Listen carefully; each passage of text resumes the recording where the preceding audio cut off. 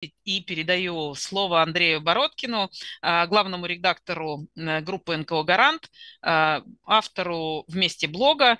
И Андрей расскажет, как и зачем создавать свое бренд-медиа и какие вот э, могут быть идеи, что надо делать и какие от всего этого получаются результаты.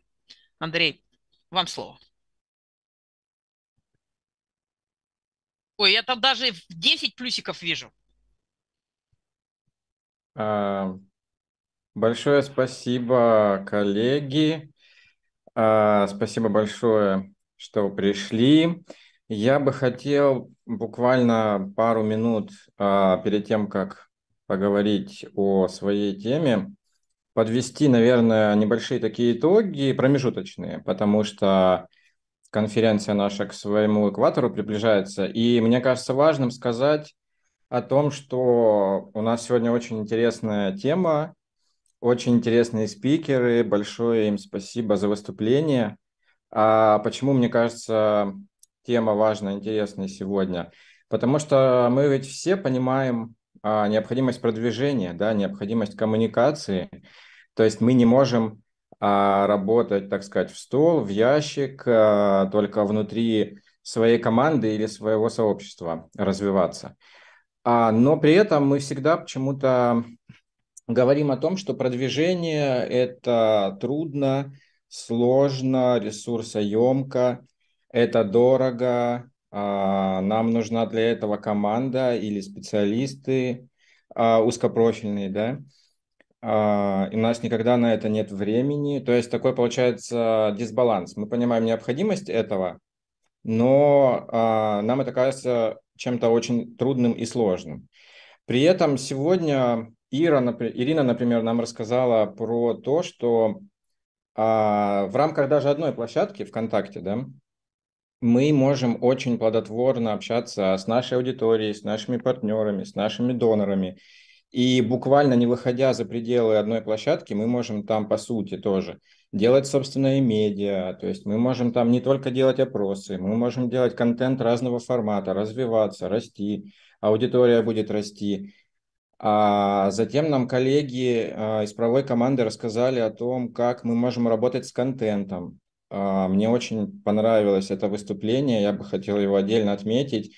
Для всех, кто работает с текстами, мне кажется, это прям такое образцовое выступление в том плане, как можно работать с темами, форматами, как можно одну и ту же тему а, подать для сайта, для соцсетей, как переработать эту тему, да, как ее переписать, упростить.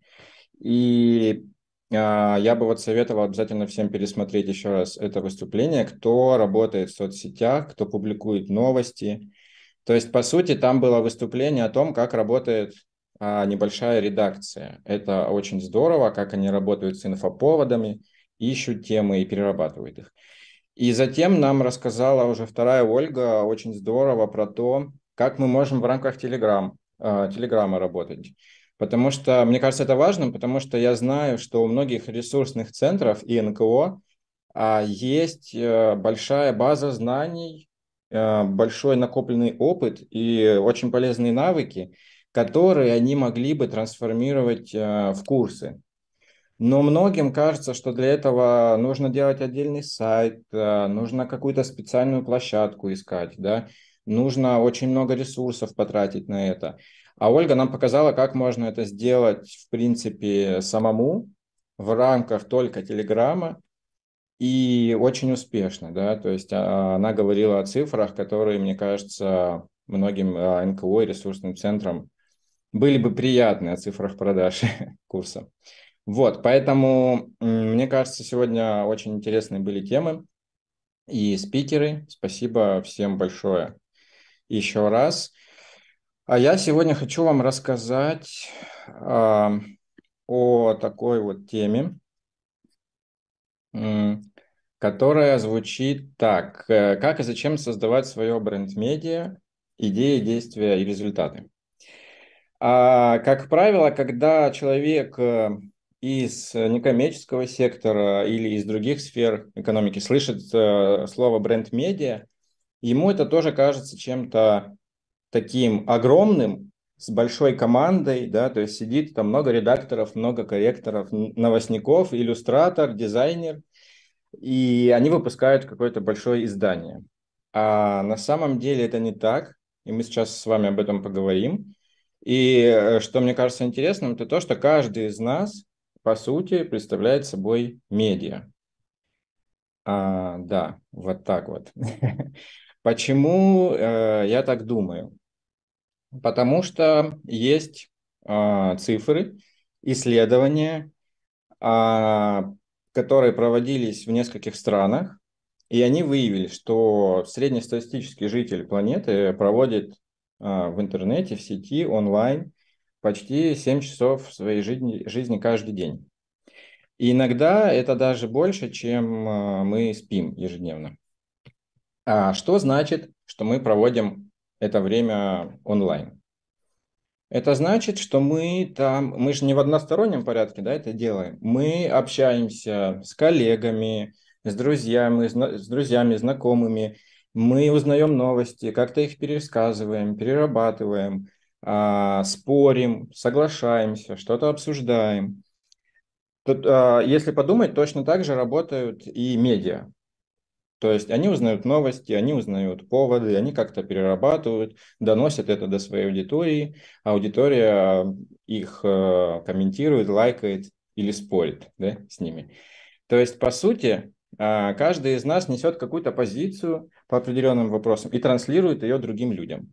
А, и это, собственно, точно так же ведет себя и медиа. Но когда мы совершаем вот этот переход от того, что это мы сами общаемся, а теперь нам необходимо создать медиа от лица организации, а, это, конечно, нас пугает. То есть это как бы совершенно другое уже в нашем понимании, да, то, о чем я говорил, что это сложно, нужна отдельная команда, это займет очень много ресурсов и так далее. А почему это нас пугает особенно сильно в некоммерческом секторе? Мне кажется, по трем главным причинам. И первая причина – это не ты, как пелось в песне известной, а идеи. Вот у нас сегодня тема называется «Идеи, действия, результаты». Да? И первая причина для меня – это идеи, а точнее их отсутствие. Очень часто я слышу от многих э, организаций про то, что они не знают, о чем им писать, о чем им говорить, и что им транслировать, так сказать, в большой мир. Да? Это то, что, то, о чем говорила Ирина. Очень важно, какой месседж вы формируете и доносите своей аудитории и вообще в целом всем пользователям. А мне кажется, что вместо того, чтобы вот а, говорить о конкретных каких-то идеях, которые мы можем использовать в блоге или в собственном медиа, а, можно поговорить про мотивацию. Потому что если у нас есть мотивация, как, по моему, а, как мой опыт показывает, идеи сразу же а, находятся. Идеи тем и идеи того, о чем мы можем говорить. Так вот, в чем же а, мотивация для НКО создать собственное медиа? А, мне кажется, есть такие четыре а, полезных эффекта, которые вы сможете ощутить довольно быстро, если свое медиа создадите. А, и тогда у вас сразу появится идея, если мы поймем эту пользу. В чем а, состоят эти эффекты? Первый эффект, на мой взгляд, это то, что а, ваше собственное медиа создает интерес к вашему продукту и к работе вашей организации в целом. Что такое продукт НКО, по сути? Это наши знания, навыки и компетенции, которые мы так или иначе, можно сказать, продаем. Можно этого слова не стесняться, да, даже если мы их предоставляем бесплатно, но все равно а, нам выгодно, чтобы люди обращались к нам за помощью, другие организации обращались к нам за помощью, чтобы они узнали о наших навыках и знаниях, да, они пошли в другую организацию. Так вот, а продукт НКО, э, он намного сложнее, чем коммерческий продукт, потому что сложнее оценить его эффект, сложнее оценить его стоимость. И в этом случае, на мой взгляд, вот стандартная реклама, которой пользуются коммерческие компании, а, подходит намного меньше, чем а, продвижение с помощью собственного медиа. Почему? Потому что это более нативное продвижение получается. Мы можем в своем медиа написать какой-то полезный материал, и там сказать э, ненавязчиво о том, что, допустим, в чем польза этих услуг для сектора. Мы говорим, что эти услуги предоставляем мы, да. Мы говорим, что у нас есть база знаний. Мы говорим о, о своих навыках, о своих компетенциях. И получается, что человек заходит к нам на сайт, в наше медиа, читает, и одновременно подогреваем интерес к э, нашему продукту. А второй эффект. Собственное медиа создает доверие. На мой взгляд, доверие – такой инструмент, который, а, можно сказать, основополагающий в третьем секторе.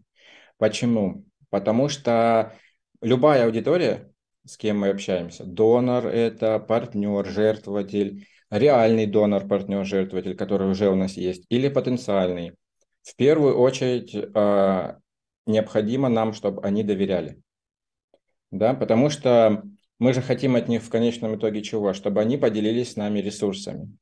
Это не обязательно финансовые ресурсы, это могут быть их навыки, их время, а, какое-то знакомство полезное, которое мы можем завести. И для того, чтобы они делились э, этим ресурсом с нами, а не с другими организациями, они должны нам доверять. И как это работает? Мы пишем полезный, интересный контент в собственном медиа, и через это ассоциируемся у донора, партнера и жертвователя. Сама организация ассоциируется с надежным партнером. То есть он прочитал, вау, круто, ему понравилось, значит, этой организации можно доверять. А у другой организации нет такого полезного материала. Значит, э, они либо не нашли время, да, либо не могут так красиво упаковать, либо они просто не знают того, о чем здесь написано. Поэтому второй полезный эффект – это мы повышаем доверие ко всей организации, не только к блогу или к медиа, а ко всей организации. Это важно, и это потом выражается в конкретных цифрах, которые мы посмотрим чуть попозже. То есть этот показатель можно измерить. А третий важный тоже пункт. А, собственное медиа запускает сарафанное радио. Вот э, мы любим в третьем секторе говорить о том, что сарафанное радио – это канал коммуникации очень неплохой, скажем так который, несмотря на все digital э, инструменты, продолжает действовать, продолжает быть эффективным для нас. Так вот, э, тексты, они э, ведь не просто так в вакууме существуют, да? Люди прочитали их, согласились, либо не согласились. Люди вообще, людям свойственно ассоциировать себя с героями текстов. Они начнут спорить, у них появятся эмоции, они начнут обсуждать, пересылать, делиться – и таким образом, конечно, естественно, во всех этих обсуждениях будет фигурировать и ваша организация в целом. Поэтому, опять же, а, собственные медиа запускают вот такой вот процесс, когда о вас узнают чаще, и, возможно, аудитория, которая до этого о вас э, совсем не знала. Четвертый важный а, полезный эффект собственного э, медиа, на мой взгляд, это кстати, то, о чем говорила Ольга Уткина, а, о том, что даже если нам удалось собрать а, небольшую аудиторию, но она а, органична для нас, да, то есть подписчики и читатели, если они остаются с нами долгое время, читают наши материалы, мы можем им доверять, да, это не какие-то там боты, мы их знаем, это прям самое ядро нашей аудитории. И как мы это можем использовать? Если у нас появляется новое мероприятие, новая программа, какая-то активность, какой-то продукт, какие-то услуги, и мы пишем об этом в медиа, а, мы можем быть уверены на 99%, что аудитории это понравится, и наша аудитория будет в этом участвовать. Чем мы будем тратить огромные ресурсы, просить, даже если это не материальные ресурсы, да, мы потратим время, найдем дружественные каналы, группы, другие организации, будем просить их, а, пожалуйста, опубликуйте вот этот анонс, а, пожалуйста, расскажите о нашей услуге. Они будут долго не соглашаться, потом опубликуют. 90% их аудитории это пропустит мимо, да, потому что воспримет как рекламу. И вот все эти э, усилия, по сути, приведут ни к чему. А если мы поработаем над развитием собственной аудитории, мы просто напишем там, поставим ссылку, и люди придут и посмотрят, воспользуются нашими услугами. Вот, это а если мы говорим про четыре полезных эффекта от собственного медиа. И теперь, когда мы уже захотели сделать свое собственное медиа, я собрал немножко тем, которыми вы можете пользоваться. А если у вас уже есть блог медиа, если вы только думаете о том, чтобы его завести, вот такие вот базовые темы, но а, почему я говорю базовые? Они интересные, но я очень редко, когда вижу, чтобы другие некоммерческие организации писали на эти темы. Хотя мне кажется, это очень интересно поговорить об этом. И если вы будете писать об этом, то вы совершенно точно будете выделяться на рынке и среди других НКО. То есть, почему вы решили открыть? Ну, я, я понимаю, да, почему а, немногие НКО об этом пишут, потому что у нас всегда очень много текущих задач, и мы всегда в таком ритме очень высоком живем и работаем, да, и вот, например, остановиться, пролистать свой телефон, посмотреть, э, найти там фотографию с нашими сотрудниками, которые там полгода или год. А, да, это бывает сложно, но если мы это сделаем, мы просто напишем материал о том, что это за фотография, что это за мероприятие, почему мы в тот день вместе собрались, а как теперь развиваются эти сотрудники, а что прошло за год, что изменилось в лучшую сторону. Вот, это же очень интересный материал, на мой взгляд, который не требует э, очень большого усилия. Вот, точно так же, как, например, рассказ про то, кто нас э, вдохновляет, почему мы решили открыть собственное НКО. А был ли период, когда нам хотелось все бросить и уйти работать э, в заповедник, следить за медведями, да, в одиночестве и ни с кем не общаться? Я ведь уверен, что а, такие периоды у каждого из нас были. Вот. Это не так сложно рассказать об этом, да?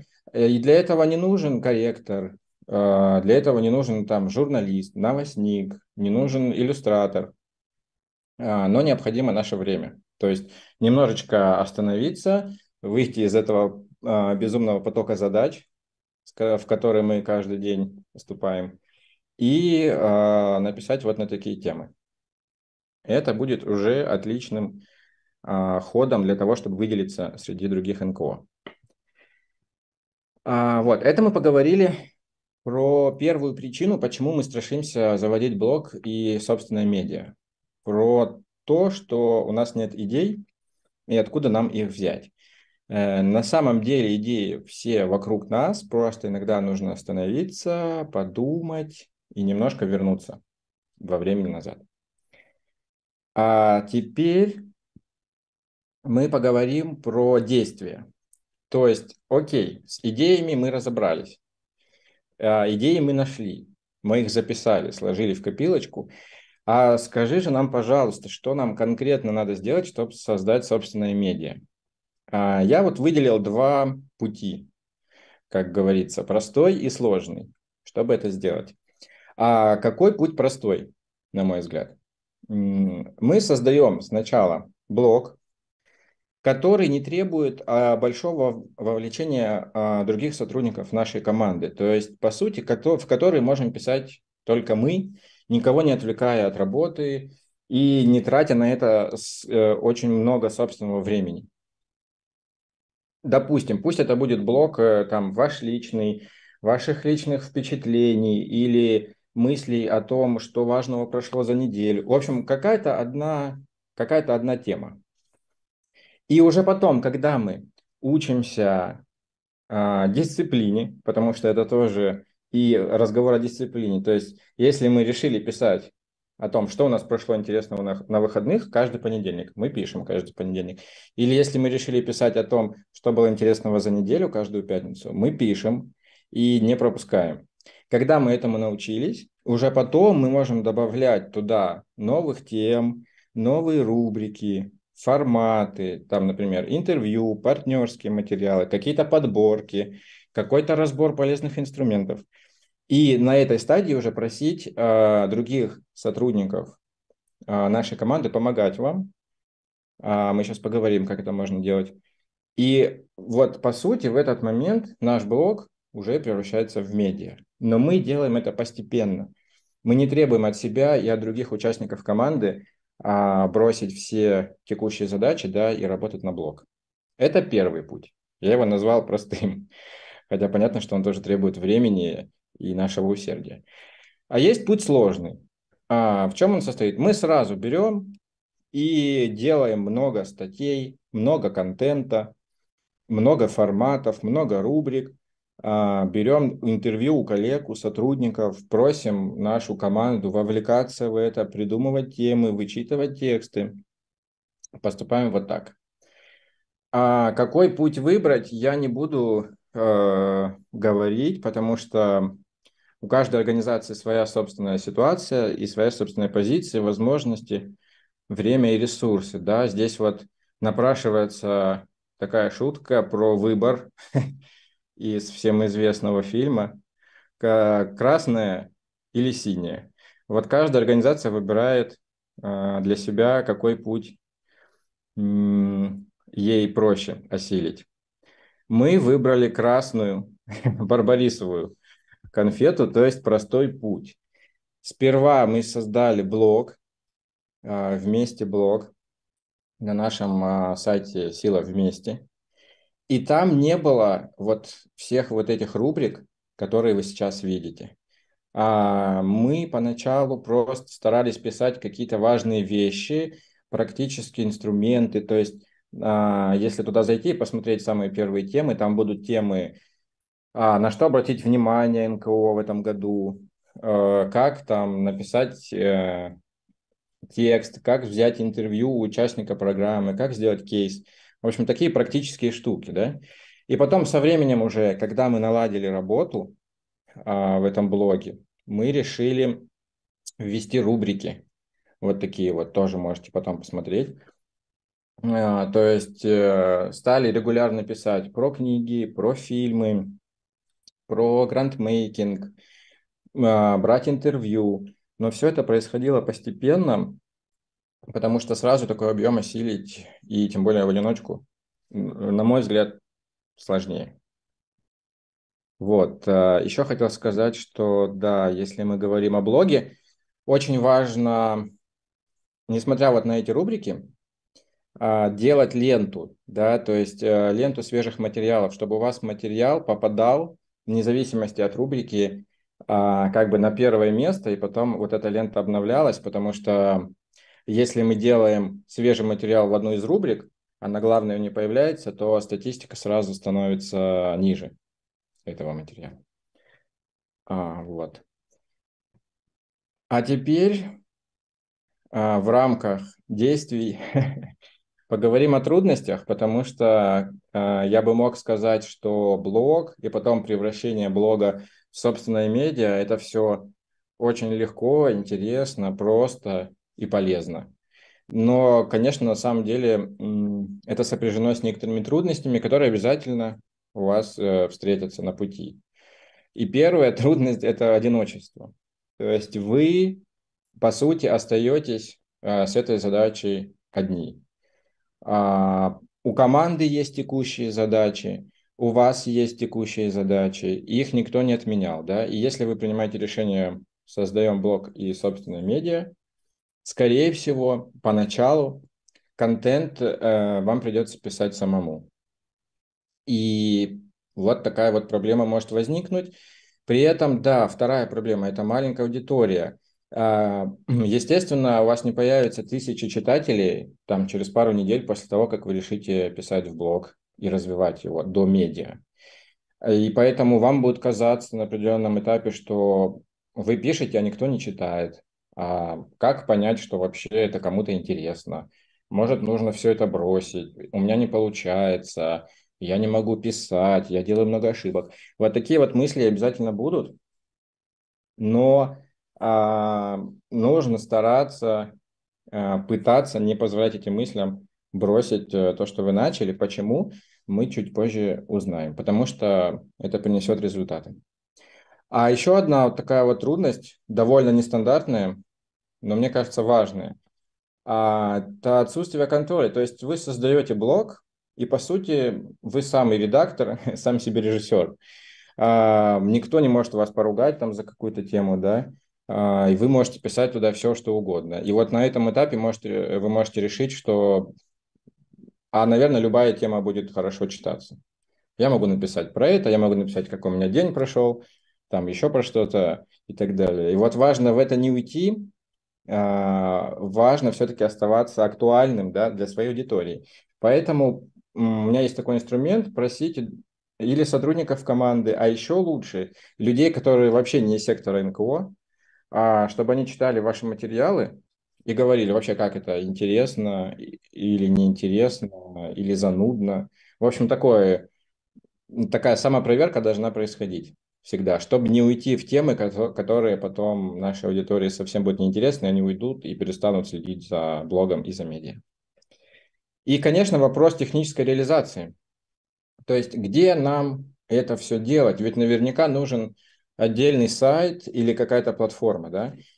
На самом деле нет. Э, я вообще выступаю за то, чтобы блог и потом медиа всегда были привязаны к либо главному сайту, либо к одному из ваших сайтов.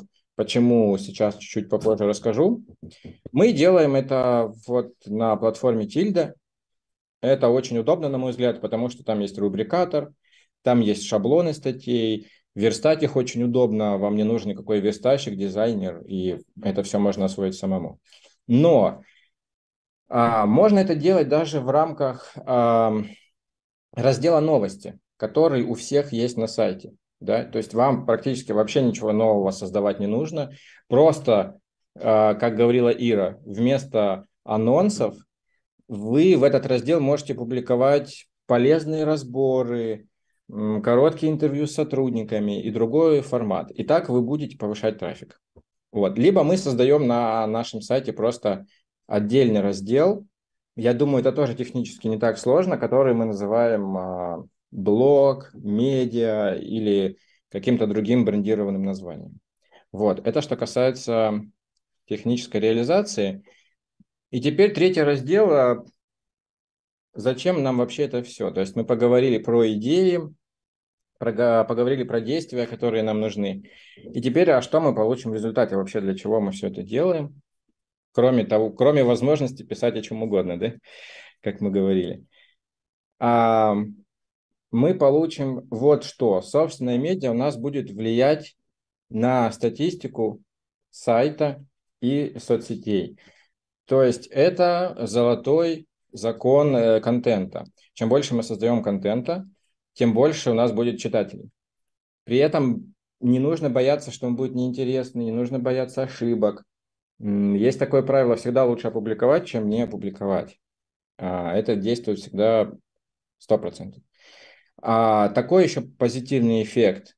Когда вы начнете все это делать, писать и развивать, а, вы будете то тут, то там от коллег в секторе а, слышать, что кто-то прочитал ваш материал, что кому-то прислали ваш материал, что он был полезный, что он был интересный. А, это как раз вот признак того, что ваш блог превращается в медиа, да, это то сарафанное радио, о котором мы говорили.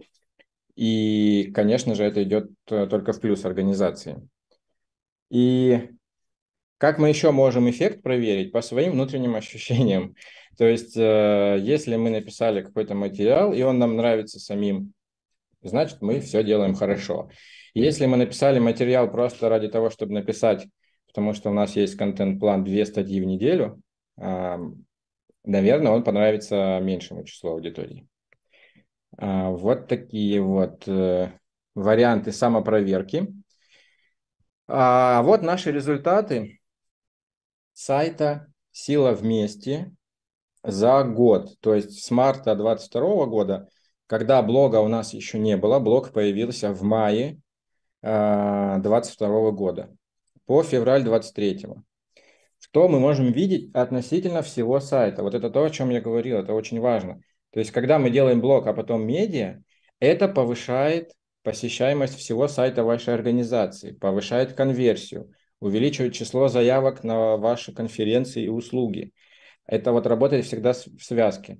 То есть мы видим, что за этот период у нас на 115 фактически процентов выросла посещаемость всего сайта, а, получились заявки, выросла конверсия.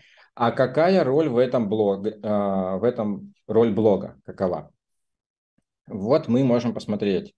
За все это время блог у нас держится в топ-7 ресурсов а, всего сайта. То есть страница блога в семерке по популярности. И, естественно, это приводит к тому, что растет и а, количество просмотров всего сайта. Вот. Еще а, такой важный момент. Когда мы изучаем статистику, мы всегда смотрим, какие материалы а, понравились аудитории больше всего. Это легко проверить. Да? Если мы там пишем ВКонтакте, смотрим по лайкам. Если мы пишем в Тильде, смотрим по статистику в Тильде или в других ресурсах. И есть такая ловушка. Вот мы нашли, у нас есть самый популярный материал в блоге, он называется эта пятерочка выручает пять простых сервисов для работы НКО. Он там в топе э, по просмотрам среди всех 50 материалов. И может показаться, что если мы сейчас начнем писать все остальные материалы вот в такой стилистике, то у нас просмотры взлетят, и все, все будет здорово и круто. Я тоже в такую ловушку попался, но а, фактически выяснилось, что если мы повторяем какой-то формат, это вовсе не означает, что просмотры у него будут такими же высокими. Почему? Потому что очень сложно следить настроение читателей, поведение читателей, да. Может быть, тогда, когда мы публиковали эту статью, просто больше пользователей оказалось э, в сети. Может, как-то на них повлияли другие, э, другие факторы, которые мы учитывать не можем. Но если мы будем постоянно возвращаться к такому формату, повторять его, мы, во-первых, упустим другие важные темы, во-вторых, наш блог и медиа станут менее разнообразными, менее интересными, и все это приведет к тому, что читатели только отток получится. А мы ожидаем, что будет приток. Поэтому э, смотрим на цифры, изучаем их, изучаем мнение команды и коллег, да, чтобы не скатываться в то, что мы пишем обо всем на свете. Но остаемся в рамках разных форматов. Не стараемся повторить самый популярный формат. Вот такой вот еще вопрос предвкушаю. Насколько важен контент-план? А, мне кажется, он важен, но важно его и нарушать. Почему? Потому что если мы решим, что будем вообще без э, контент-плана работать, то есть, например, там сели сегодня и думаем, нам надо что-то написать, это принесет сумбур в работу. Поэтому нам нужны темы хотя бы на неделю или на две, на которые мы можем ориентироваться. Да? То есть мы посмотрели праздничные даты, мы посмотрели какие-то интересные поводы, поспрашивали коллег, команду, о чем интересно почитать, записали.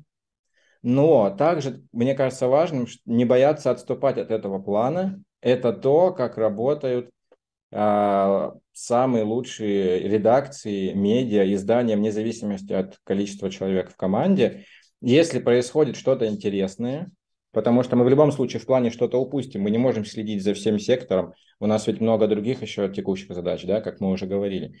Случается что-то интересное, какое-то событие, например, о котором все говорят, кто-то где-то выступил, а, проходит какая-то конференция, кто-то там от, открыл новую организацию, кто-то получил большой грант и так далее и тому подобное. Мы не стесняемся откладывать план в сторону, переносить эти темы и, и написать желательно как можно быстрее в своем блоге и медиа вот о том, что произошло. Вот.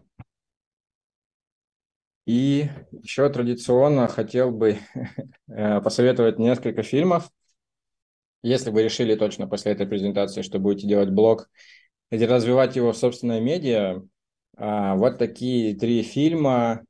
Они очень легкие, интересные, но, с другой стороны, там здорово показана работа команды, которая э, делает контент. То есть, как они взаимодействуют, как они переживают по поводу того, есть ли просмотр или нет, где они ищут темы, как им хочется все бросить, а почему они этого не делают, и как в итоге их ждет успех, а, как он ждет всех нас, как мне хотелось бы верить, чтобы можно было вот так вот делать. А, вот, в принципе, про блог и медиа у меня все. Если будут вопросы, с удовольствием на них отвечу. Сейчас я включусь угу. и пойду смотреть вопросы. А, я думаю, что точно будут. Какие публикации в блоге сейчас самые востребованные? Угу. А, я вот говорил уже, да, что про сервисы и приложения, которые упрощают работу НКО, и в принципе, но с другой стороны, это все варьируется, да, то есть вот главный лидер вот это, но, допустим, там от недели к неделе может меняться, но всегда популярные материалы про что почитать и что посмотреть, при этом с привязкой к работе НКО. То есть вот недавно был материал про фильмы про работу в команде. И у него тоже отличные были цифры и просмотры. То есть мы видим, да, что есть материал про конкретные инструменты практические, которые мы каждый день в работе используем. А есть совершенно как бы другой материал про то, что нам посмотреть в субботу и воскресенье, чтобы там забыть о делах, но что-то полезное команде узнать. И они, по сути, одинаково популярны. То есть это говорит о том, что мы должны стараться писать о разном. Вот. Угу. Спасибо. Ну вот э, э, есть э, вопрос э, будут ли презентации, потому что где-то было мелковато и не все смогли прочитать. А, поэтому, да, будут для того, чтобы можно было прочитать. А, еще, пожалуйста, а, вопросы. Вот тоже в комментариях есть, что как раз э, телеграм-канал тоже медиаплощадка. Ну вот клуб фандрайсеров завтра идет на конференцию ведомости выступать как СМИ. Угу. Если есть еще вопросы Андрею, то еще целая минута есть, он может отвечать.